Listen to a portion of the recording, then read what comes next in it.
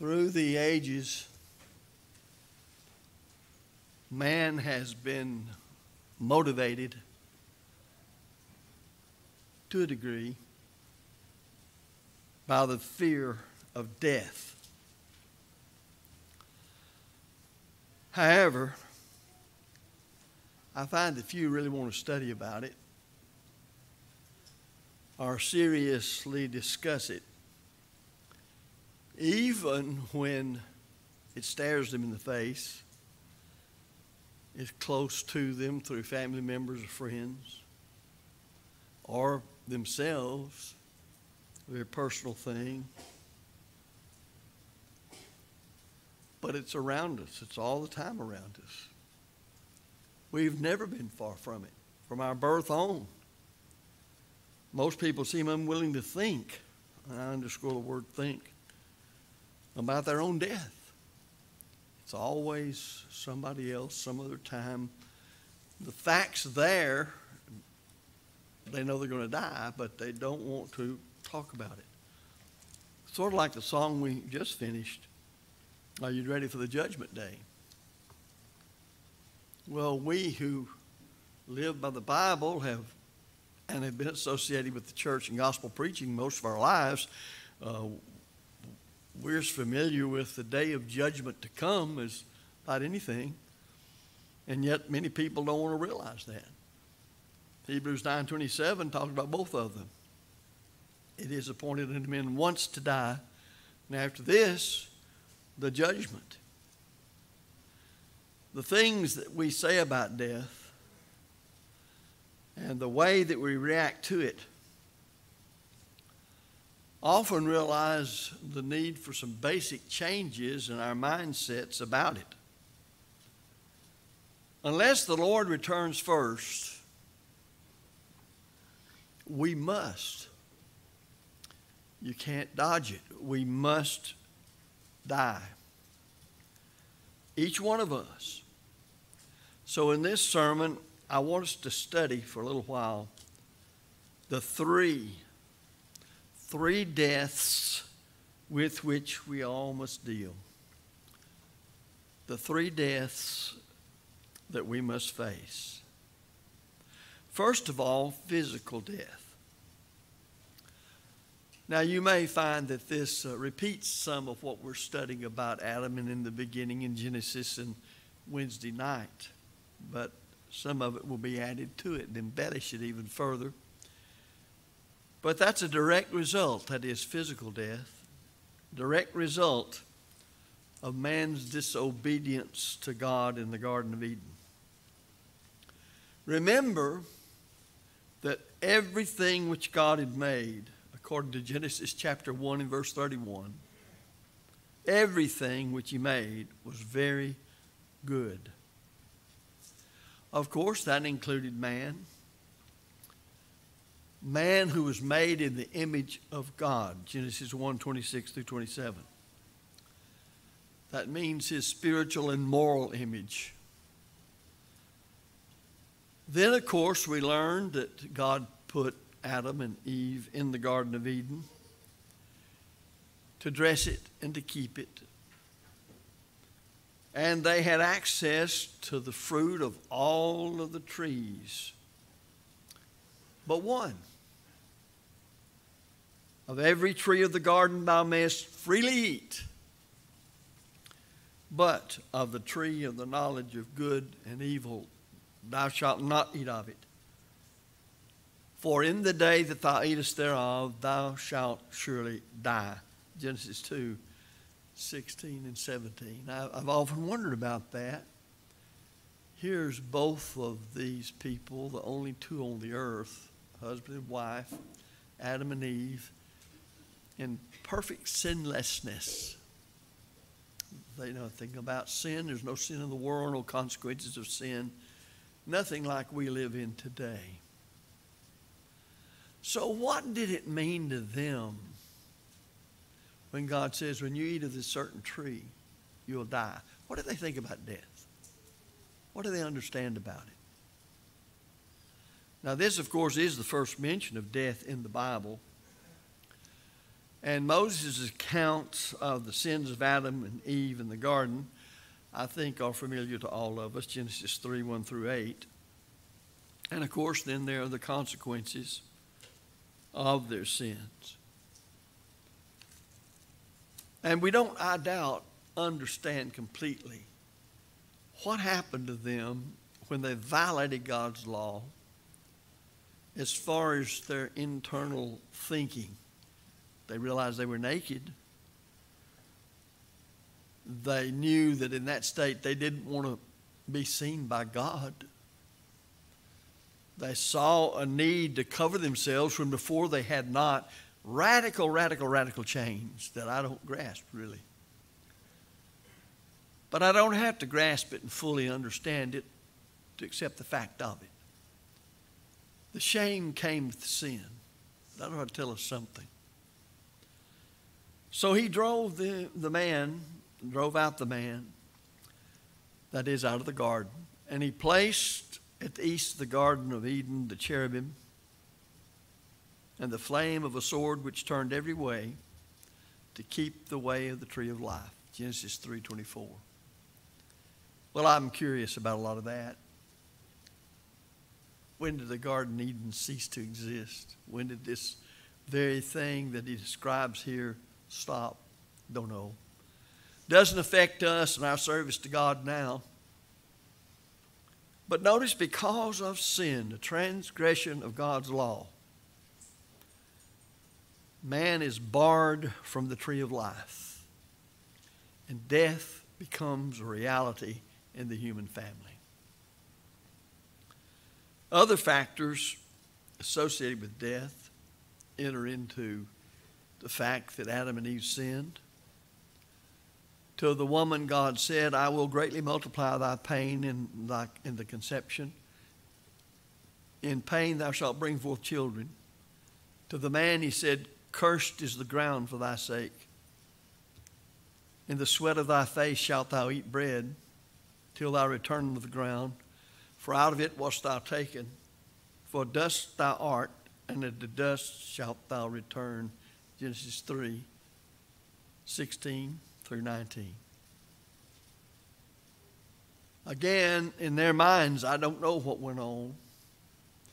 But as soon as they broke God's law, they were immediately dead to God, separated from God. They didn't have what they had with Him before. I may not understand completely the fellowship they had with Him when they were sinless, but they lost it. They had a different viewpoint. Fear came upon them, shame came upon them. They weren't prepared to handle that.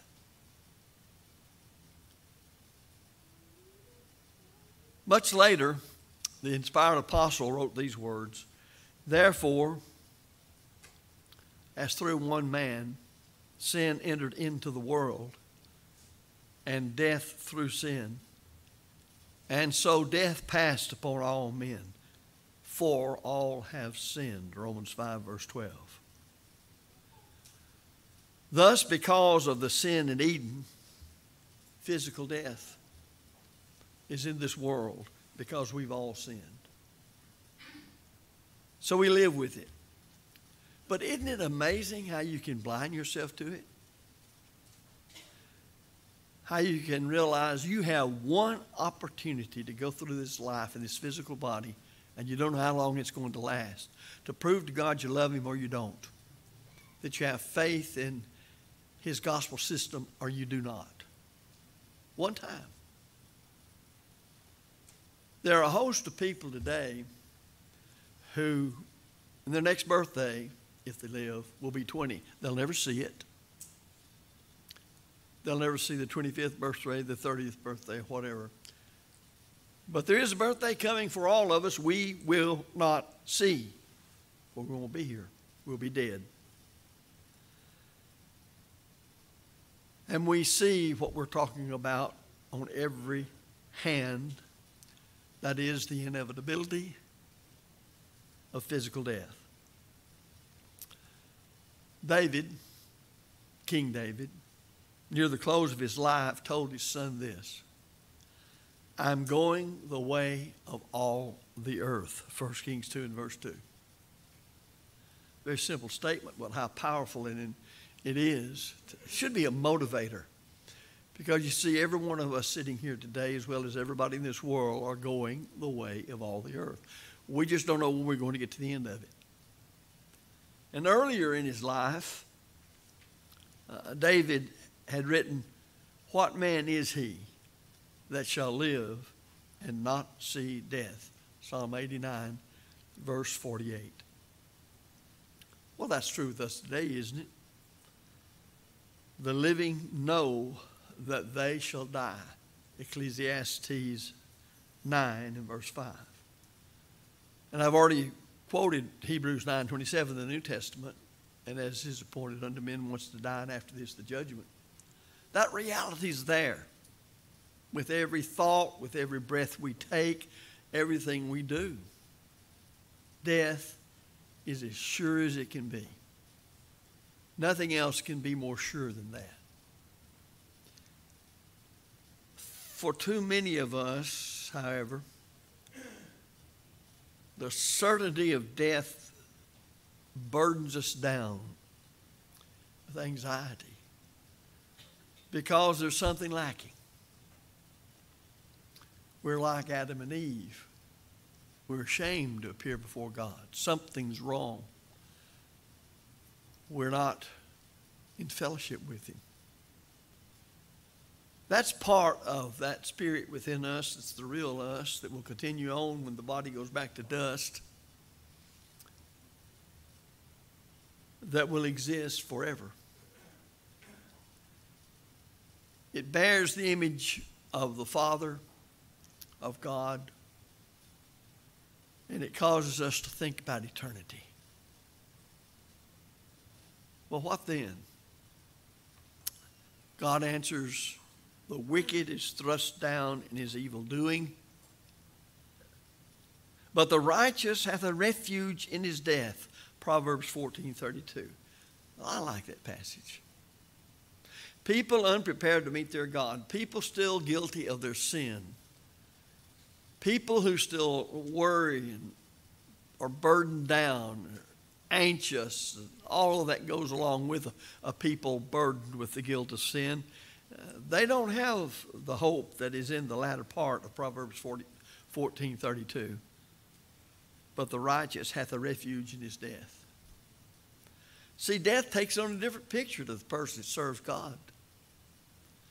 It's not a time of coming before God unprepared.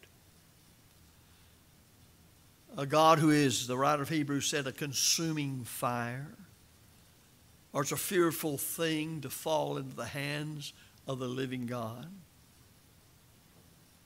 But here is a view that changes about death. It becomes a doorway, a refuge in his death. He's freed from all of the turmoil of this life that's dominated by Satan and sin and all those who live in sin.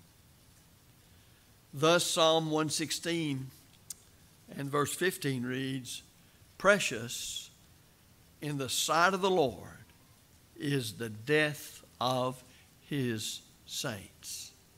Now put those two verses together. The righteous hath a refuge in his death, and precious in the sight of the Lord is the death of his saints. Well, to me, that tells me, as a Christian, one who labors to walk the straight narrow way, to serve God according to his will, when one of my brethren dies, as much as a human can know about anybody else, we're thankful. We're thankful because the righteous hath a refuge in his death. And the death of the saint is precious in God's sight. You finished the course, as Paul said. You've kept the faith. Henceforth, there's laid up as it was for Saul, Paul, a crown of righteousness for all of us. So when Christ directs the life,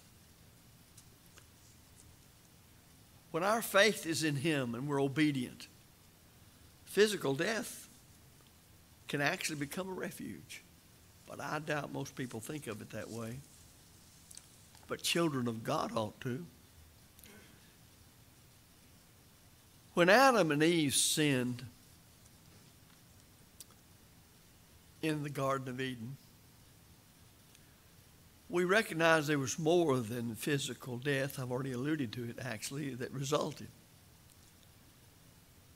There's some that would argue they did not die in the day they sinned, but that they only started the death process, that that would take years for it to come. And I find nothing in the Bible teaching to such thing as that.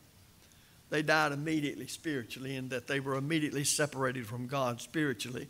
Then they began to die physically when they were cast out of the garden because they could not partake of that which kept them physically alive forevermore the tree of life.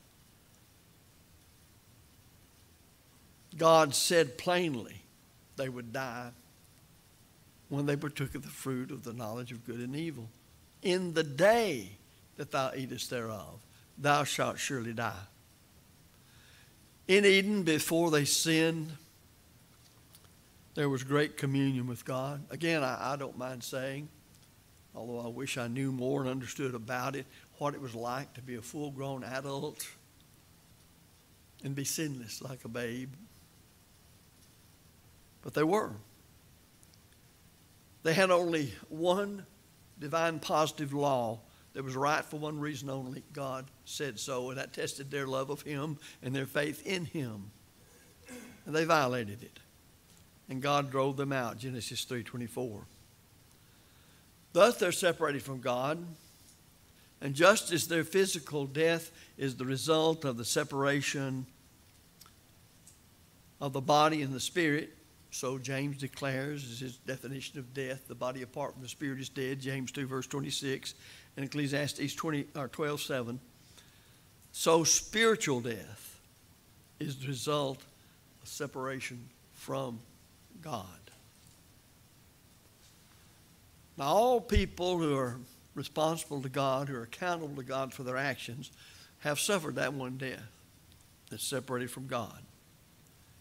They need to be reconciled to God. They need to have their sins forgiven, that they can be justified in His sight. God has that plan. But concerning sin, the great Old Testament prophet later wrote, Your iniquities have separated between you and your God, and your sins have hid his face from you. Isaiah 59 2. It's what happened with Adam and Eve and everybody else that's ever sinned and that would be all people. So when Adam and Eve sinned, they died. Sin separated them from God. And cut off after having been booted out of the Garden of Eden from the tree of life, they begin to die physically. I think that man's plight is very graphically described in Isaiah chapter 53 when the great prophet wrote, All we like sheep have gone astray. We have turned every one to his own way. That sums it up. I can't blame it on anybody for my sins. People may have had a part in my sins, but when all is said and done, I sinned. The result, ye are separate from Christ according to Paul in Ephesians chapter 2, 12, aliens from the commonwealth of Israel, strangers of the covenant of promise, having no hope and without God in the world. Now, that's the state of most of the people that are accountable to God on this earth today. Why? All because of sin. But earlier in this same chapter, God declares, you hath he made alive, who were, that's a past tense, you know, used to be, not anymore, who were dead in trespasses and sins.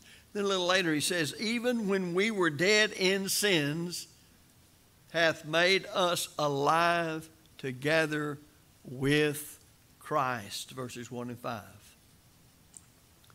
So there is that forgiveness of sins available there is that being justified in God's sight, being reconciled to God, to be back in fellowship with God. To those who neglect the Lord that died for them, while living for this world, for time and space. Here's what the apostle wrote She that liveth in pleasure is dead while she liveth. 1 Timothy 5 6. That means you're separated from God, though you may have all kinds of money and wealth and blessings. You're still separated from God. You're still dead in your trespasses and sins. Because all have sinned, Romans 3:23. And therefore, spiritual death is a problem that we must all face. That's what's happening to this generation in America. They don't have that disposition of mind. They're not thinking about death, that they're separated from God, that they're cut off from God. They have no promise of eternal life. Death is not a, a refuge, it's only the doorway into misery. Think of that rich man in the account of rich man and Lazarus in Luke 16. He had all that a man would want for that day and time. But it just says that he died and was buried and lifted up his eyes in torment. So he made a great transition from that which was sumptuous and living in the best that a person could then. In the blink of an eye, or maybe we should say, in a heartbeat, he was removed to a place he never gave any thought of. But Christ came to give us life. The whole New Testament abounds with that message. That's the gospel message. I think of John 11, 25 through 26, specifically talking about Christ came to give us life. And we just sang about the great physician nigh as near, the sympathizing Jesus. He bids the drooping heart to cheer. Oh, hear the voice of Jesus. So, our transition from life to death ought to concern everybody. In Colossians 2 12 and 13, buried with Christ in baptism, wherein you're also raised with him through faith in the operation or working of God, who raised him from the dead. And you, being dead in your trespasses and the uncircumcision of your flesh, you, Paul says, I say, did he make alive together with him, having forgiven us all our trespasses. Imagine all of it's erased, there's no anxieties. Your heavenly Father now. Through Jesus, you can approach him and he'll hear you, and he's promised to answer every prayer to guide you providentially as you labor to follow the truth of the gospel of Christ. So we have that spiritual death. And right here in this room today, people are either in spiritual life with Christ or they're in a state of spiritual death, separated from God. There's no in between. But then there comes what we see as the second death. Now, John, the apostle, is exhorting Christians to faithfulness. And in exhorting them to faithfulness, he reveals the promise He that overcometh shall not be hurt of the second death. Revelation 2.11. And then when you get over to chapter 20 and verse number 6, the term is used again.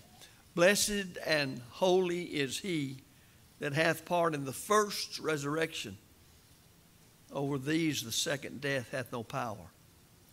Well, the second death is defined in Revelation 20 and verse 14. And death and Hades were cast into the lake of fire. There wouldn't be a Hadean world if death did not exist and Thus, there is that temporary dwelling place of spirits without bodies where we go when we die. It's where the rich man went in torments, separated by a great gulf from paradise, where Abraham and Lazarus were, and where Jesus and the thief went when they died, when they were crucified. All of this works because God knows exactly when He's going to bring this whole system to an end in our future. maybe the next second, maybe a thousand years. No one knows, but He does. We do know that time continues, 2 Peter 3 9, to give men an opportunity to repent and obey the truth. But this second death is also described as the lake of fire. Lake of fire and brimstone. That's where Satan's going to be cast by God for eternity, according to verse 10. So I think it's quite evident that this lake of fire, which is the second death, is that eternal punishment from which no person who enters it will ever leave. I try from time to time because how terrible hell is and trying to grasp it, just to think about being there and never leaving. Because your mind in this life, when something bad's going on, you think, well, I'll get over this. I'll get even the faithful child of God. See, death becomes a door into peace. But the person separated from God, who's dead to God, dead in trespasses and sins, when that person dies, it's just misery beyond my mind to grasp. And it never changes. It's on and on. And your mind keeps wanting to say, well, yes, but it'll end. But it won't end. Now, thinking people ought to realize that means we better take advantage of the time we have. For the time God's giving us is because He loves us. He's long suffering, not willing that any should perish, but that all should come to repentance. I remember one time many years ago, I'd been asked to come into southwest Arkansas to to work with a congregation where I knew the preacher in a vacation Bible school. And this goes back a long time ago now. And um, of course, I had the assignment not only teaching in class, but also leading the singing for the little ones. That's how long I've been singing some of those songs. But while we were there, a young man in his 20s, I think, about that age, not a whole lot older, was killed. He'd been a member of the church, but he had been out of duty, wasn't faithful, killed in a car wreck. And they had the funeral that week at the church building. And they asked several of us to, is the custom, still is in lots of places, to sing. And we were off over in a classroom like this. And the preacher, as I said, I knew he preached the funeral. But then we were over here, the rest of us singing. And there was quite a crowd. It was a very big crowd. Everybody knew these people. And sometime I've ever seen this, and it was something you never forget. And it was because that parent had not done all that they knew they could have done and should have done. And certainly the young person that was dead had not done what they should have done. And when they came to filing by the casket, as the custom is, the father was so distraught, so beside himself, he would back up and just run toward the casket and to stop him from lifting up the body. It was just awful. Question Does that sound like somebody that knew they were pleasing to God and their son was pleasing to God? Or are they lamenting everything because it's over and done with and there is no hope for that child? Well, that's not just some fantasy story. I witnessed that. It's not just a preacher story, but it's one that happened. And over the years, it hasn't been a pleasant thing at times to be in funerals when the person was not prepared to meet their God. Families who were stood around and all they could do was hold one another because they couldn't very well pray for that dead one. That person's time on earth and time to change is over and done with. And if they would think honestly in the light of the truth, they would know at that moment that person is in torment, having rejected God's salvation in the gospel. And nobody, nobody, nobody can do a thing in the world about it because they didn't when they could. So it's evident that this lake of fire, which is the second death, is that eternal punishment about which Jesus spoke. And in teaching about the judgment, the Lord said that the wicked would be separated from the righteous. Well, for the one who lives his life here, fighting the fight of faith, trying to be like Jesus, obeying the Lord, not letting the world run his business, that's a relief. This world is wicked because there are wicked people, and people are wicked because they live on the level of the lust of the flesh, lust of the eyes, pride of life, and they do as they please, and they don't think of God. If they do think of God, it's through erroneous doctrines that are no better than just simply to cause one to believe wrong things. Then shall he say also unto them on the left hand, Depart from me, ye cursed into everlasting fire prepared for the devil and his angels. Then the scripture says of them, and these shall go away into everlasting punishment. Everlasting punishment. No end to it. Why? Because they spurned the love of God. They spurned the grace of God. They spurned the mercy of God. They spurn their parents trying to get them to obey the gospel and their family urging them to be faithful.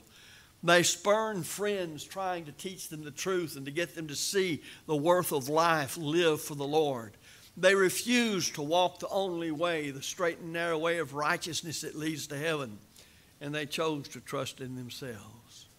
I said last week, my prayer for people like that is that before they pillow their head at night, if God allows them to get to that night, that they will worry themselves sick till they obey the truth.